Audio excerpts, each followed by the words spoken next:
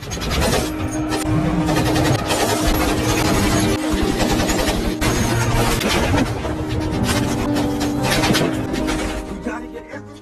semua, gimana kabarnya? Semoga kalian sehat selalu. Selamat datang kembali di channel 99% Movie. Kali ini kita akan membahas film action yang menarik, Machine Gun Preacher 2011. Lebih dari sekedar film action guys, film ini menggambarkan sisi kemanusiaan dan pesan moral yang mendalam. Kisahnya diambil dari kehidupan nyata Sam Childers, seorang mantan narapidana yang memilih untuk berjuang di Sudan demi melindungi anak-anak dari dampak konflik. Nah, apakah Sam berhasil menjalankan misinya? Langsung saja kita ke ceritanya. Film ini memulai ceritanya dengan sebuah adegan yang mengguncang di mana sebuah desa di Sudan Selatan diserang secara brutal oleh pasukan pemberontak Elera. Mereka tidak hanya membunuh warga desa, tetapi juga menyandra anak-anak dan membakar rumah-rumah mereka. Di tengah kekejaman itu, seorang anak dipaksa untuk mengakhiri nyawa ibunya sendiri sebagai ancaman bagi keselamatan dirinya dan saudaranya.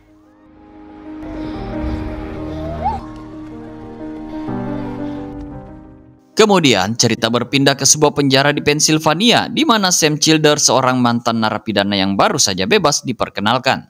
Sam adalah seorang pecandu narkoba dan alkohol yang dulunya merupakan anggota geng motor berbahaya bernama Outlaws. Saat ia keluar dari penjara, istrinya sudah menunggu untuk menjemputnya. Setelah tiba di rumah, Sam disambut hangat oleh ibu dan putri semata wayangnya. Istrinya yang bernama Lin ini diketahui memiliki masa lalu yang berat sebagai penari erotis di klub. Tetapi sekarang dia telah meninggalkan pekerjaannya tersebut karena merasa uang yang dihasilkannya tidak halal dan kini bekerja di sebuah restoran. Setelah itu, Lin juga mendorong Sam untuk bertobat dan kembali ke jalan yang benar. Namun Sam merasa marah dan frustasi mendengar saran itu, bahkan hampir melakukan kekerasan terhadap istrinya. Tanpa memedulikan nasihat istrinya, Sam pergi ke sebuah bar di mana teman-teman gengnya berkumpul. Di sana ia bertemu dengan Doni, sahabat karibnya, yang menawarkan narkoba kepada Sam. Sam tentu saja tertarik dan akhirnya menggunakan narkoba tersebut dengan cara menyuntikannya langsung ke dalam lengannya. Kejadian tragis terjadi ketika Sam dan Doni merampok sebuah rumah dan mencuri uang serta stok narkoboy dari penghuni rumah tersebut. Setelah kejadian itu, mereka bertemu dengan seorang gelandangan di jalan yang memaksa mereka untuk memberikannya tumpangan.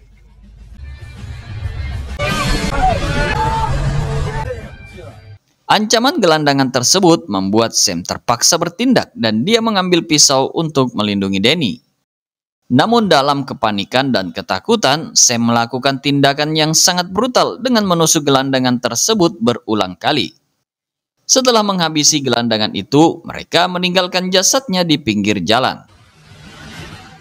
Insiden ini menghantui Sam, membuatnya terguncang dan takut karena dia menyadari bahwa dia telah melakukan pembunuhan dengan cara yang sangat kejam.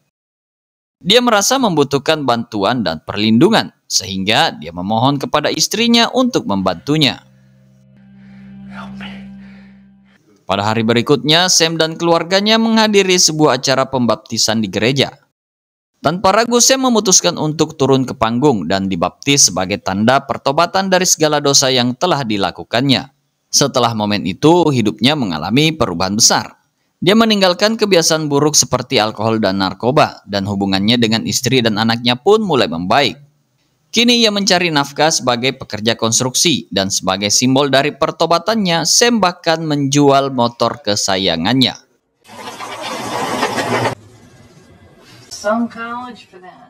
Suatu hari, badai besar melanda daerah tempat tinggal Sam dan keluarganya. Dalam upaya cepat, Sam menghancurkan lantai ruang tengah rumah mereka, membuka akses ke tempat perlindungan di bawahnya. Ia segera menyelamatkan istri dan anaknya ke tempat tersebut sementara dia sendiri bertindak sebagai penghalang untuk melindungi mereka. Badai pun menerjang rumah mereka dengan keras, menyebabkan perabotan di dalamnya hancur berantakan. Beruntung tidak ada korban jiwa dalam kejadian itu dan kerusakan yang ditimbulkan tidak terlalu parah. Namun, insiden itu memunculkan ide dalam pikiran Sam untuk memulai bisnis kontraktor. Seiring berjalannya waktu, bisnisnya berkembang pesat dan ia berhasil membangun sebuah rumah yang cukup besar. Beberapa tahun kemudian, Sam dan keluarganya pergi ke gereja bersama-sama. Saat mereka berada di sana, mereka disambut oleh seorang tamu istimewa, seorang pastor dari Uganda Utara. Pastor tersebut datang untuk berbicara tentang situasi saudara-saudara mereka di Afrika yang sedang menghadapi kesulitan.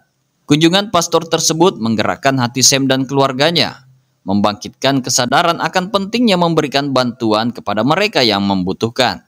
Beberapa hari kemudian, Sam pergi ke rumah seseorang untuk menjemput Doni sahabatnya yang sedang berjuang melawan kecanduan narkoba dan alkohol. Sam tidak hanya membawanya pulang, tetapi juga memberikannya perawatan dan dukungan yang sangat dibutuhkan. Pada suatu hari saat mereka sedang makan bersama, Sam teringat akan pastor dari Uganda Utara yang menginspirasinya dengan kegiatan amal di Afrika. Tergerak oleh hati nuraninya, Sam memutuskan untuk membantu mereka juga, khususnya dalam bidang konstruksi. Setelah menyelesaikan semua pekerjaannya, ia merencanakan perjalanan ke sana selama beberapa minggu. Setibanya di sana, Sam bergabung dengan tim yang sibuk membangun sebuah rumah. Di sana ia bertemu dengan dua tentara bernama Deng dan Marco, anggota dari organisasi militer SPLA, Sudan People's Liberation Army. Keduanya kemudian menjadi teman baiknya Sam. SPLA adalah gerakan gerilya yang didirikan untuk melawan pemerintah Sudan yang dipimpin oleh John Garang. Esok harinya setelah selesai bekerja, Sam bertemu kembali dengan Deng. Sam bercerita bahwa ia ingin pergi ke Sudan, di mana sedang terjadi perang sipil dan meminta Deng untuk menjadi pemandunya. Meskipun Deng tahu betapa berbahayanya situasi di sana, Sam tetap bersikeras untuk pergi. Setiba di sebuah perkampungan, mereka menemukan sekelompok orang yang telah mencari perlindungan dari serangan pasukan pemberontak, khususnya LRA. LRA dipimpin oleh tokoh kontroversial Joseph Kony, dikenal karena kejahatan kejamnya, termasuk pembunuhan, penculikan, dan bahkan memaksa anak-anak untuk terlibat dalam konflik bersenjata. Malam itu, ketika mereka beristirahat, Sam dikejutkan dengan kedatangan sekelompok anak-anak yang dikirim oleh orang tua mereka untuk mencari perlindungan dari serangan pasukan LRA. Tanpa ragu, Sam mengampiri mereka dan dengan hangat menyambut mereka ke penginapannya. Ia segera menawarkan beberapa anak untuk tidur di dalam kamarnya, memberikan mereka rasa aman dan kenyamanan yang mereka butuhkan. Ekspresi kebahagiaan terpancar jelas dari wajah anak-anak yang bisa tidur dengan aman malam itu. Esok harinya, mereka pergi ke desa yang sebelumnya diserang oleh pasukan Elera. Mereka disambut dengan pemandangan tragis, korban berjatuhan dan rumah-rumah yang terbakar. Di tengah kekacauan itu, sebuah tragedi lain terjadi ketika seorang bocah mengejar anjingnya ke ladang dan tanpa disangka-sangka menginjak ranjau yang meledak, menyebabkan kematian mendadak yang menyayat hati. Setelah kembali ke Pennsylvania, Sam disambut oleh keluarganya yang telah lama menantikan kepulangannya. Di rumah, kenangan tentang Sudan terus menghantuinya, dan ia merasa terpanggil untuk membantu anak-anak di sana. Keesokan paginya saat Lin bangun, dia menemukan Sam masih terjaga di gudang. Sam menjelaskan bahwa malam sebelumnya dia mendapat pencerahan. Dia berencana untuk membangun gereja khusus bagi orang-orang seperti dia yang ingin bertobat dan memperbaiki hidup, serta membangun panti asuhan untuk anak-anak di Sudan. Gereja itu akhirnya selesai dibangun, dan pada hari pembukaannya banyak orang hadir untuk beribadah. Ketika penceramah yang diundang tak datang, Sam memutuskan untuk mengambil alih. Meskipun pertama kalinya ia mampu menggerakkan jemaat dengan materi yang dibawakannya. Keesokan harinya mereka semua mengantar Sam ke bandara sebelum ia berangkat ke Sudan. Dia akan pergi selama beberapa minggu untuk membangun panti asuhan seperti yang dijanjikannya. Sebelum berangkat, dia meminta Doni untuk menjaga anak dan istrinya dengan baik. Setelah tiba di Sudan, Sam dan Deng serta teman-temannya menuju sebuah sekolah yang kosong, tempat di mana mereka berencana membangun panti asuhan. Meskipun pemilik tanah tidak setuju karena lokasi yang terpencil dan jauh di selatan, Sam tetap yakin bahwa tempat itu sangat cocok bagi mereka yang membutuhkan pertolongan. Akhirnya setelah negosiasi, Sam berhasil membeli tanah tersebut. Bersama dengan warga sekitar, mereka memulai pembangunan panti asuhan tersebut. Proses pembangunannya berjalan cukup lancar dengan progres yang sudah mencapai sekitar 40%. Namun malam itu ketika mereka bersiap untuk beristirahat, pasukan LRA tiba-tiba menyerang dengan jumlah sekitar 20 orang. Sam dengan cepat mengarahkan semua anak ke dalam gereja untuk mengamankan mereka, sambil memimpin pertahanan melawan serangan musuh. Meskipun terjadi baku tembak sengit, mereka berhasil mengalahkan semua musuh dan melindungi anak-anak serta bangunan yang sedang dibangun. Saat pagi tiba, pemandangan yang menyambut adalah reruntuhan rumah-rumah yang telah terbakar habis serta jumlah korban jiwa yang tidak sedikit. Mengingatkan Sam bahwa perjuangannya di sini jauh dari mudah seperti yang ia kira sebelumnya. Setelah kejadian tragis semalam, perasaan putus asa menyelimuti Sam, membuatnya hampir menyerah pada tantangan yang dihadapinya. Namun suara dukungan dan semangat dari istri tercinta melalui telepon membangkitkan kembali api perjuangannya mendorongnya untuk tidak menyerah, melainkan untuk membangun kembali apa yang telah hancur dan hilang.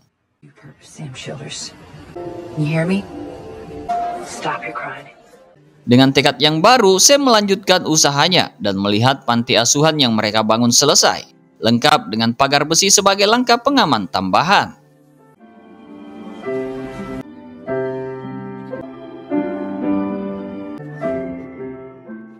Keesokan harinya, Deng dan rombongan dari daerah Jumane tiba, membawa beberapa anak yang terluka parah.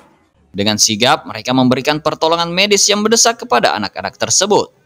Salah satu dari mereka mengenali Sam, karena berita tentang perbuatan baik Sam yang telah menolong anak-anak telah tersebar luas di sekitar wilayah tersebut.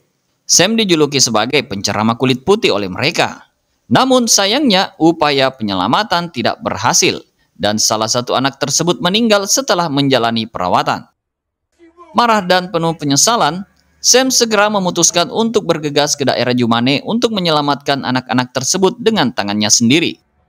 Pemandangan berpindah ke tempat lain di mana iring-iringan pasukan LRA membawa beberapa anak yang dipaksa untuk ikut dalam peperangan.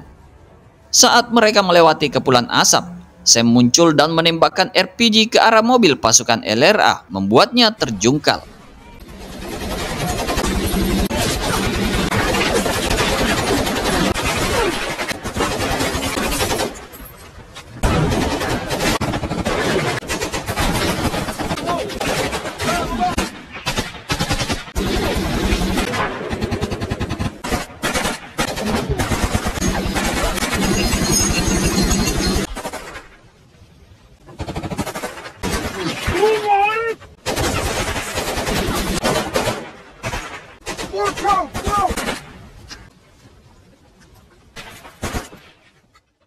Tengah kekacauan itu, salah satu bocah di sana mengenali Sam dan dengan berani menembak musuh yang ada di depannya. Beruntungnya, Sam berhasil selamat dari serangan tersebut dan anak-anak tersebut kemudian menyerahkan diri mereka. Ternyata bocah yang berani menembak tadi adalah anak yang sama yang kita lihat di adegan awal film. Sejak desanya diserang yang menyebabkan ibunya berakhir di tangannya, dia dan saudaranya terpisah dan belum bertemu sampai saat ini.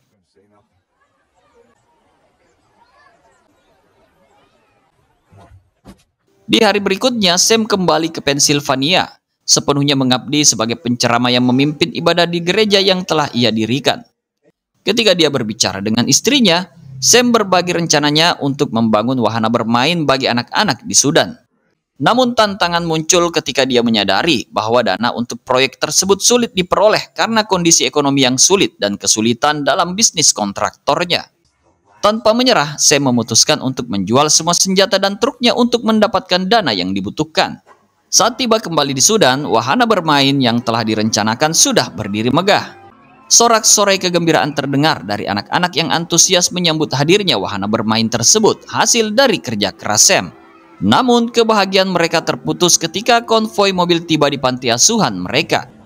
Ternyata mereka adalah pasukan SPLA yang dipimpin oleh tokoh berpengaruh John Garang.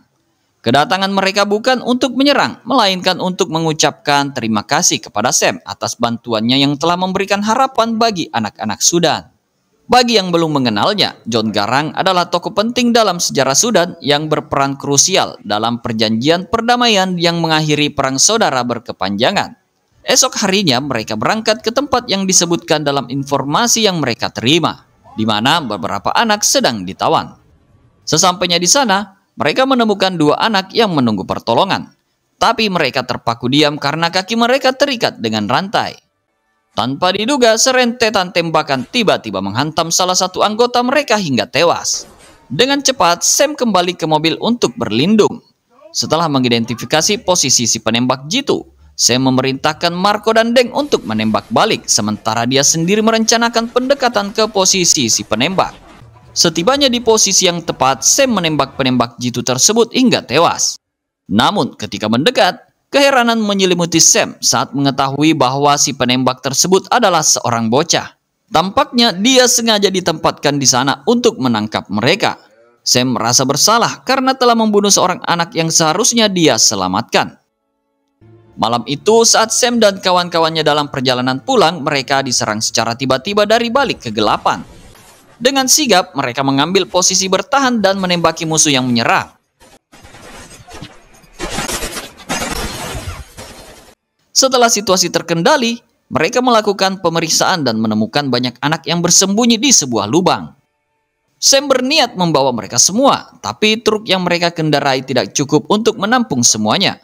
Oleh karena itu, dia memutuskan untuk membawa sebagian dari mereka dan berjanji akan kembali untuk menjemput sisanya.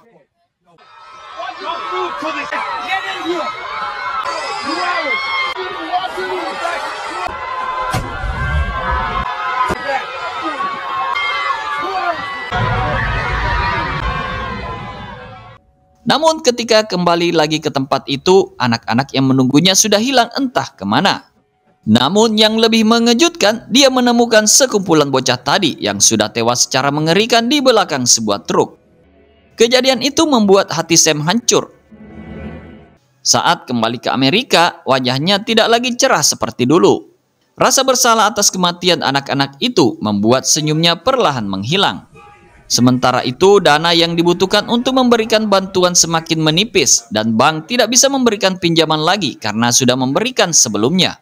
Cobaan demi cobaan terus menerpa Sam dan ketika dia mengetahui bahwa John Garang telah meninggal dalam kecelakaan helikopter, dia semakin terpuruk. Obsesinya untuk menyelamatkan anak-anak di Sudan membuatnya lupa akan keluarganya sendiri. Hubungannya dengan anak dan istrinya memburuk, bahkan hubungannya dengan Doni, sahabat baiknya, juga tidak terkecuali. Dia mulai memaki-maki Doni, menyebutnya seorang gelandangan yang hanya numpang hidup di rumahnya.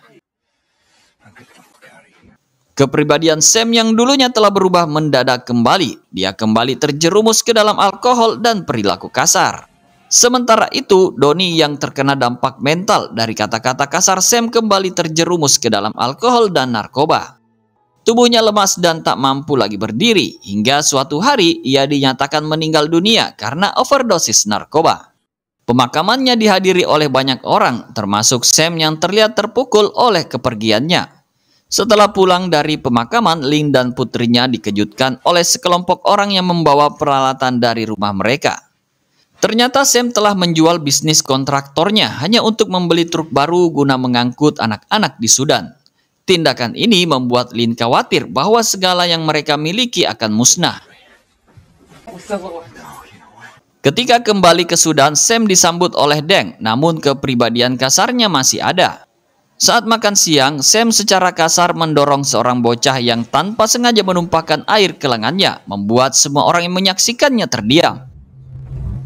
Malamnya ketika sedang istirahat, bocah yang didorong oleh Sam datang. Dia menceritakan sebuah kisah yang mengharukan sekaligus memberi nasihat kepada Sam. Dia berbagi pengalaman saat desanya diserang oleh pasukan LRA, di mana dia dipaksa untuk mengakhiri nyawa ibunya sendiri demi keselamatan dirinya dan saudaranya. Kemudian dengan bijaksana, dia menegaskan pentingnya menjaga hati agar tidak dikuasai oleh kebencian. Dia menyampaikan bahwa jika kebencian menguasai diri kita, maka kita akan kalah. Mendengar itu, hati Sam yang selama ini tertutup menjadi terbuka lebar berkat kata-kata bijak dari bocah itu. Sam kemudian mencoba menghubungi anak dan istrinya di rumah untuk memperbaiki hubungan yang sebelumnya rusak oleh tindakannya sendiri. Keesokan harinya, suasana di panti asuhan terasa berat dan murung dengan anak-anak yang tampak kehilangan semangat. Sam dengan cepat menyadari perubahan suasana tersebut dan merasa bertanggung jawab untuk mengembalikan keceriaan. Dengan tekad bulat, dia memutuskan untuk mengajak anak-anak bermain bola, menganggap bahwa permainan itu bisa menjadi obat untuk mengusir kesedihan yang menyelimuti mereka. Meskipun awalnya ragu, anak-anak akhirnya luluh dan menerima ajakan Sam. Dan perlahan tapi pasti, tawa dan keceriaan mulai menghiasi kembali panti asuhan itu. Setelah berhasil mengembalikan semangat anak-anak, Sam dan rekan-rekannya menerima informasi yang mengkhawatirkan tentang gerakan pasukan LRA di sekitar perbatasan. Mereka pun tidak bisa tinggal diam. Tanpa ragu, mereka bergegas untuk menghadapi ancaman tersebut.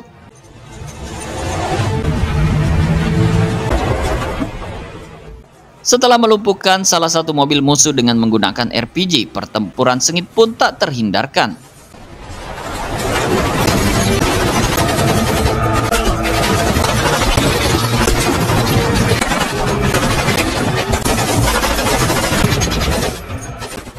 Sam dan kawan-kawan berhasil memenangkan pertarungan tersebut meskipun dengan risiko yang sangat besar. Namun kemenangan mereka tidak lengkap tanpa membebaskan anak-anak yang disandra oleh pasukan musuh. Meskipun mereka berhasil membebaskan anak-anak yang terjebak dalam truk, saat itu situasi memaksa mereka untuk mengambil keputusan sulit. Dengan hanya tersisa satu truk yang bisa digunakan, mereka harus membagi anak-anak untuk kembali ke tempat penampungan yang aman. Sementara Sam dan beberapa rekan lainnya memilih untuk tetap tinggal di sana untuk melindungi sisanya dari bahaya yang mengintai.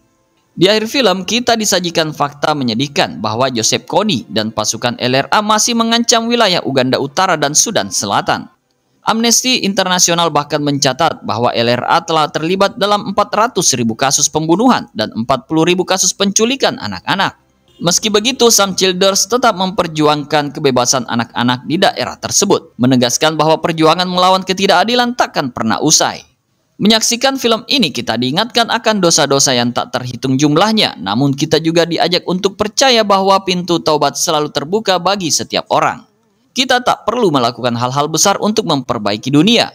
Cukup dimulai dari tindakan-tindakan kecil seperti memberikan dukungan kepada keluarga, memberikan sedekah kepada yang membutuhkan dan berbuat baik pada sesama. Dan dengan begitu film pun selesai.